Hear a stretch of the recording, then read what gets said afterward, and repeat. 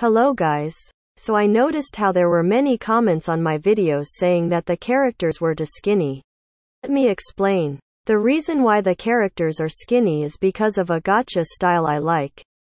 It is due to this style that the characters are skinny. Let's go into Gacha Club. Do you see this button? I can change the width of the character to the size I want.